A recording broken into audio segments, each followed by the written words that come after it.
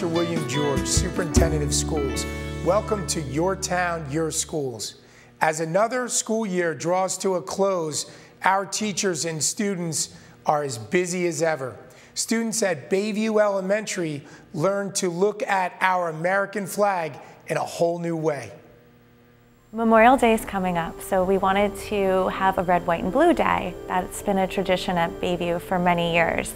And we decided to make it a bit more important and tell and get the kids involved a little more by having uh, Gerry come and show them flag etiquette, show them what the flags, what the flag means. Uh, we also do the Pledge of Allegiance every single day, and the teachers and I feel that it's important that the students know the reason why we say the Pledge of Allegiance every day. I feel that it's become a common, somewhat habit as we go through the whole school year, and it's nice to sit back and reflect on what those words truly mean. Well, it's essentially about the history of the American flag, the growth of our country, the history of our flag, and you know the many changes which was demonstrated today uh, that the flag went through up until Francis Hopkinson in 1776. I don't feel like the children today realize how absolutely awesome it is to be an American, to understand our heritage, how important it is. I think it's great for them to learn about the respect of the flag, the etiquette of the flag. Um, it's just not something that I think is generally like known anymore. So I was very excited to have this assembly today. Well, it's our heritage, and if we lose our the knowledge of our heritage, that's a serious loss to this country. So, and it's important to that the children understand patriotism. It's not a dirty word, by the way, and that they respect the flag which represents our country. Well, as you can see today, it's usually very enthusiastic. They want to learn um, about the flag and they love the flag. And if you look around the walls and read some of the stories, you understand the feelings of our students.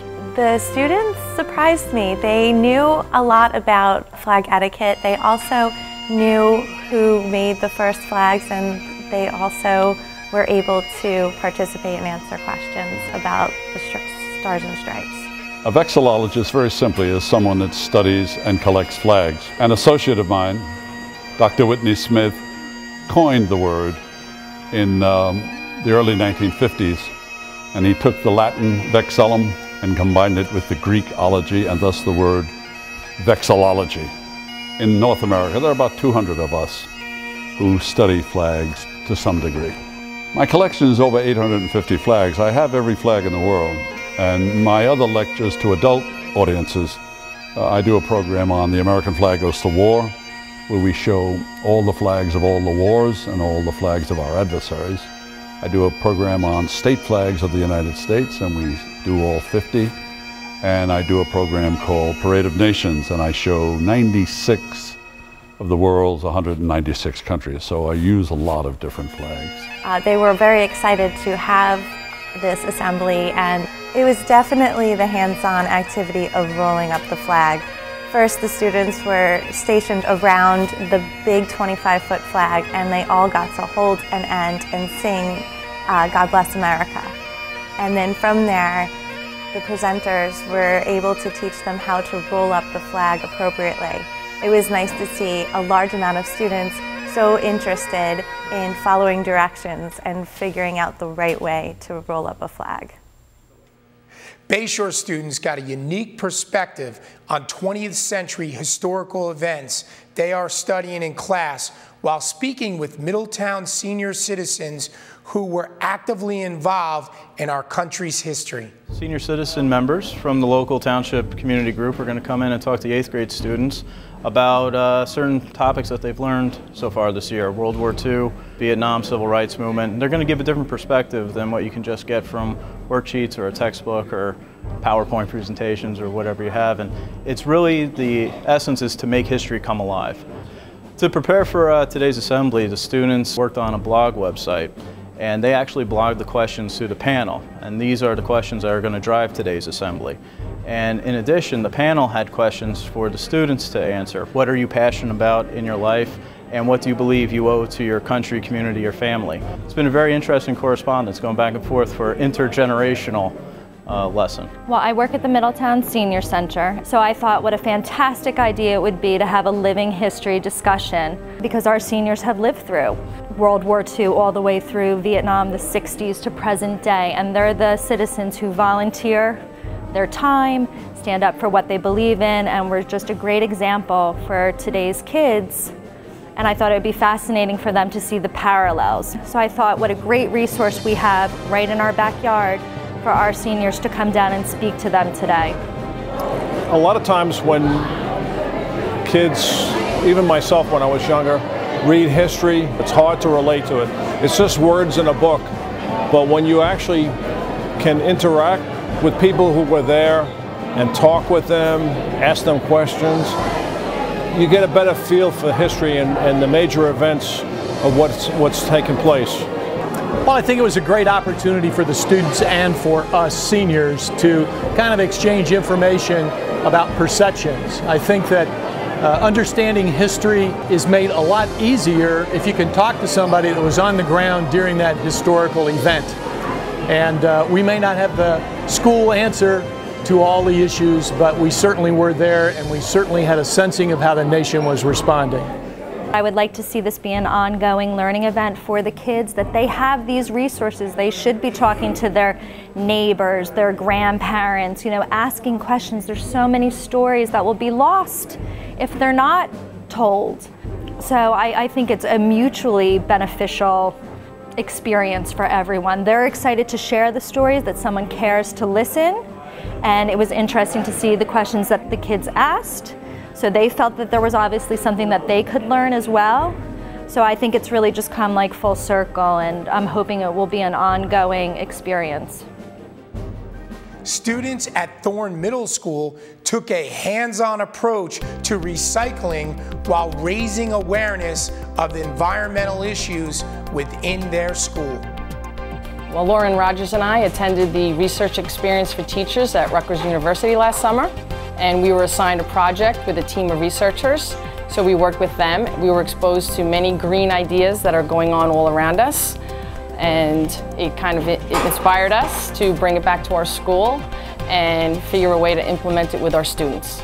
In the math department, we're working on volume this year, so we use our skills in measuring volume to measure all the paper and the plastic and the garbage and the science department, the composting is a part of their curriculum also, so it fit perfectly in. We kind of looked for things in our curriculum where we could implement these ideas and use the math and science ideas with a real world application. So I'm the math teacher and uh, Lauren Rogers is a science teacher, so we took different approaches for each of our classes. One of the things we did was Rutgers had an engineering day we took 25 students up to Rutgers and they had some experience on here's a problem, solve it with no instruction. And they were able to bring that back to the classroom, which we really saw in the science class with composting. I gave them some basics that they had to have oxygen, nitrogen, carbon, and we of course did all that in science class, the nitrogen cycle, the carbon cycle, the water cycle. So they had some good background information. They really could use one, two, or three two-liter bottles and tape, and they had to figure out the ratio between uh, carbon and nitrogen and how much water to put in. We used a lot of math measurements, which worked well interdisciplinary with the math class because they did mass and volume and different things like that, and they're measuring as we go. They're continuing their data sheets now. And then they made a scientific poster, and they also made a recycling poster. Well, it's trying to encourage people to reduce, reuse, and recycle. We have a little mascot named Michael the man who likes to recycle, and he has a little jingle. Reduce, reuse, recycle,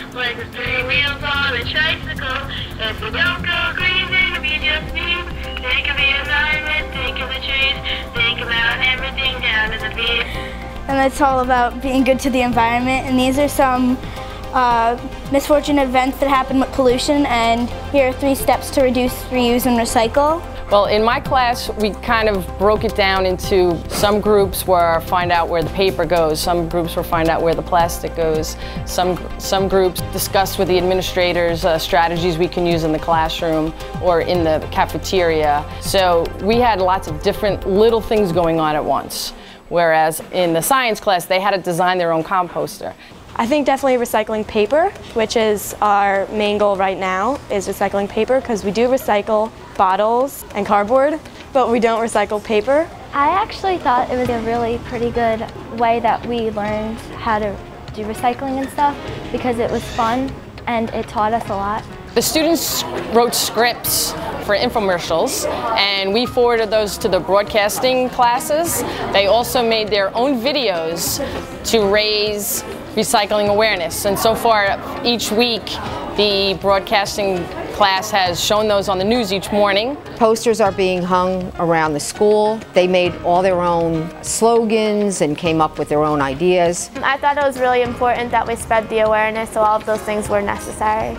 I think the most important thing that I learned from doing this project is how we really need to do more to help this earth, uh, how we really need to reduce, reuse, and recycle. Well, lots of them are already talking to their families about making a composting pile in their um, yards. I think some of them had them and didn't really realize what they were. So I, I do believe it's mainstreaming into their homes already. So I, I think it's a great thing. I think it's a good idea because what just one classroom can learn, if we spread it to the whole school, the whole school will be able to spread it to their parents and it'll give us more of a recycling and environment awareness and it might help save. Students at High School South recently got together to showcase their musical talents and to raise money for those in need in our community. Some students right now at Middletown High School South are experiencing uh, financial difficulty with these rough times that we're having that some people really have great needs. And uh, we've given away most of the money that we've had to causes and we thought we really need to raise more money. So the students uh, stepped up and said they'd be willing to do a concert for free. They're donating their time and talent. And the proceeds of, of this event are going to help our Middletown South families.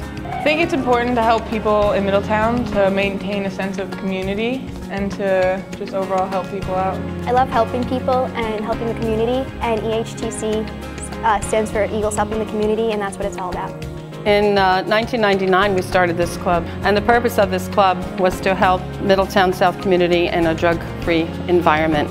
So uh, since its inception we've uh, done so many projects and it's been so edifying to see here and be a part of this to watch the students and their parents, who are their first teachers, to step up and really give of their heart, soul, time, and energy to help others in need. EHTC, great organization, great school-based organization, and um, you know, love getting out there and performing. So I'm in a position where it's easy for people to call me and ask for help.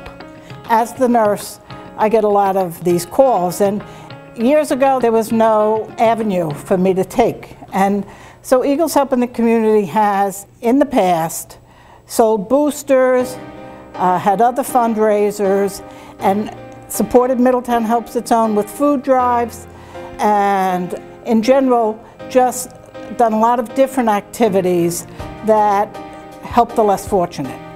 I think it gives them a sense of community, of course, and it helps with their awareness that not everybody is as affluent as some.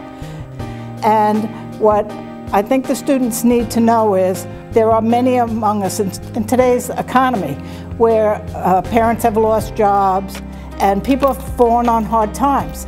And I think it's important for them to know that they can help, you know, and, and give that positive spin. And by having a, uh, a band concert like this, the kids can have fun, raise money, and spend a Friday evening in a safe environment without drugs and alcohol. I want, hope that they realize that they can make an impact and enjoy themselves at the same time and understand what EHT stands for and that they can make a difference in anything that they can do. I hope our fellow students have fun while listening to music and also helping our community and giving back to people who don't have as much as they do. It's our hometown. You know, we all grew up here. Most of us grew up here. We all went to school here. We're all part of the same community. We should help each other when another one's in need. Students from schools throughout our district had an opportunity to show their parents how technology is being utilized in our classrooms.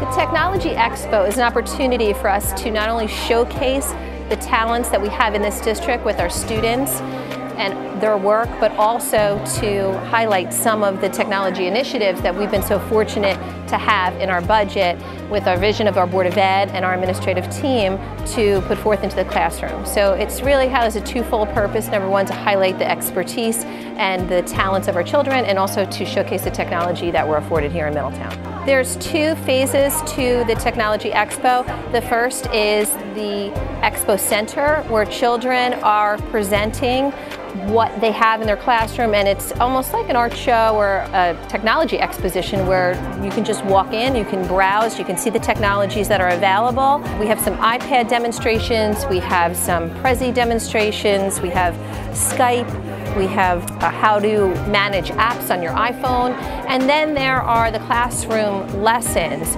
which are in the whole first hallway of the high school and in our television production studio where parents can actually go in, sit down, and learn a particular skill or a program or an application with a technology class. All of the classes today in our Expo Center and our classrooms are taught by children. We are technology immigrants. Our children are technology natives, and so we decided who better to teach us than our children with uh, the technology that they use on a daily basis. So we're really thrilled to have our students as teachers this evening, and I'm excited to just walk around and learn something new. This is a wonderful opportunity for students to demonstrate and showcase the many talents that they have in the use of technology. Beginning here in first grade, we have students using the iPads up to the high school level where they're editing uh, films and using it as research tools for their classroom studies. We're getting them ready for the post-secondary and uh, the global education today requires students to have technological skills. Well, this is a great opportunity for some of the students in Middletown Township to share some of their knowledge with some of the community members. So a lot of them took a lot of trouble to figure out maybe what their parents or grandparents or neighbors would like to know as far as technology is concerned. So you'll see a variety, a myriad of things going on here from teaching people how to use their mobile phones to being able to use great applications that they find on the web and on the computers. So they have a great amount of knowledge and they're willing to share it with anybody that attends today. Because some of the parents, you know, were born in the 19 something, so they don't really know how to do technology stuff, so. I really liked it. It shows me how much technology has advanced. Like I'm doing a PowerPoint and someone else did the Prezi, and the Prezi is like a faster PowerPoint. You can make stuff move, put photos behind the text and stuff, and it's really cool. If I need to do a project and I could use technology for it, I could show people in my class how to use it and help them with the project. Because maybe it's easier to type than to write. Well, I liked it because it gave me like um, inspiration on how to do stuff. Like there was a boy over there doing iMovie. A girl over there gave me a paper how to do Skype. The fact that these kids can even do what they're doing, I don't know if too many people know about it. And when you have an event like this, it really opens the eyes. I mean, it opened my eyes tonight. I had no idea that these kids were doing this many things. This is my first tech expo, and uh, it opened my eyes. One guy over here has an iPad and he's explaining how he bought an application that for his, oh no, it was 99 cents. And for just 99 cents, he has, in, he called it Infinity Notebooks. He said, would you rather carry 15 notebooks and 15 books or this one little iPad? And he, he handed it to me and I held it. I was like, this one right here. But uh, I guess if it can be affordable enough and uh, and technology is coming down in price. I would love to see it kind of take over in the classroom. Technology is changing so quickly that it's difficult to conceptualize it. Our children, as I said, are, are, are, digital natives. They pick it up so quickly, and for us to stay abreast, for us to um, stay at the speed that they're moving at, I think it's really important for parents to see all of the capabilities out there, all the possibilities, and why technology is such an important part of our educational system. What I love about this event is how much it shows that the students are learning about technology even beyond the walls of the school.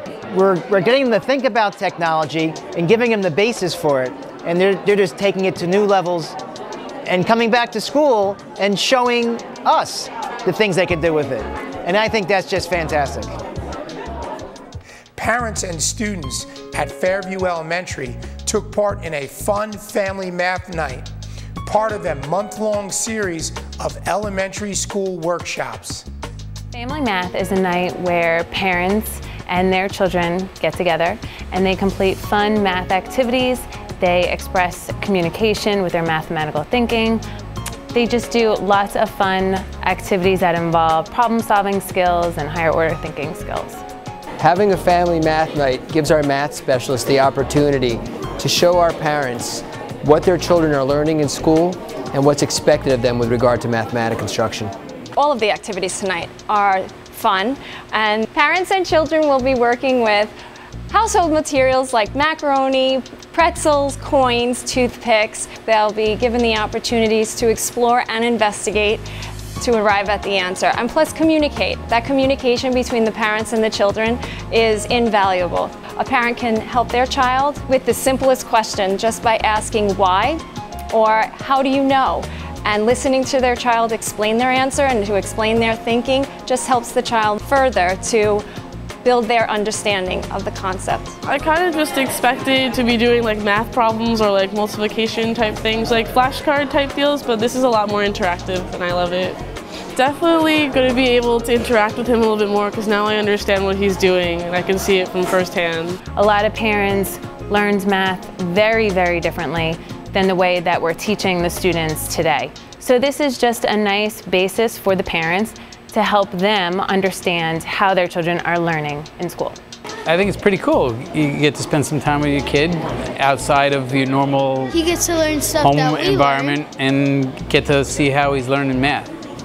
I think it's fun. What I personally got out of it is I think it, it kind of makes you see it, it maybe isn't as simple as it seems and the thought that does have to go in to it.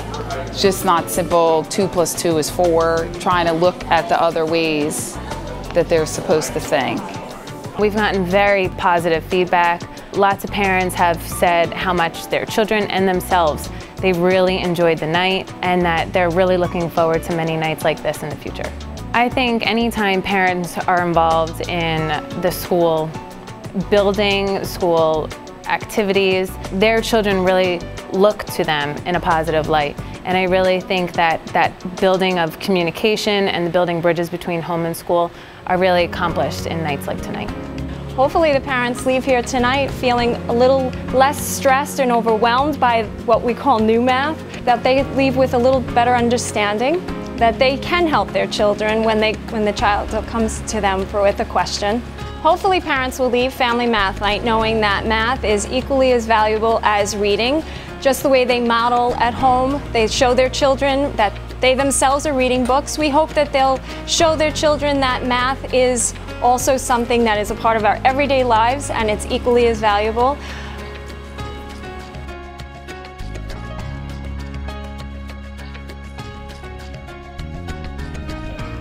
Today we are celebrating Alex's Lemonade Stand Foundation.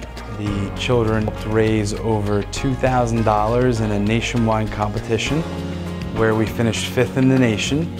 Uh, and part of the incentive that I gave to the students was to, for the winning class, if they were the winning class, their teacher would be able to hit me in the face with a pie, with a lemon pie, so we're going to be presenting a check today to Alex's Lemonade Foundation and then we're going to make a video clip to submit to their foundation website and then we will have a pie in the face as a way to celebrate.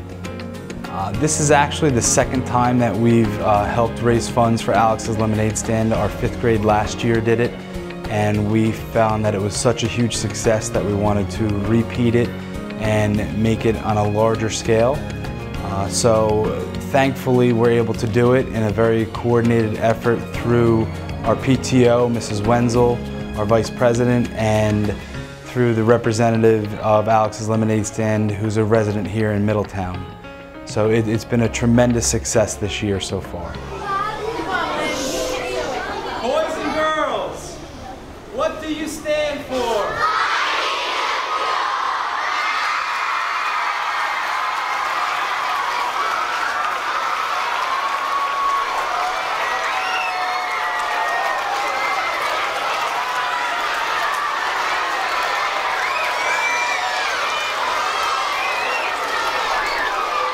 I would like to congratulate all of our students for another year of academic excellence. On behalf of our Board of Education, administrators, faculty, and all staff, I would like to congratulate our graduates as they move on to the next level of their education. I hope you have a safe and enjoyable summer. I'm William George. Thank you for watching.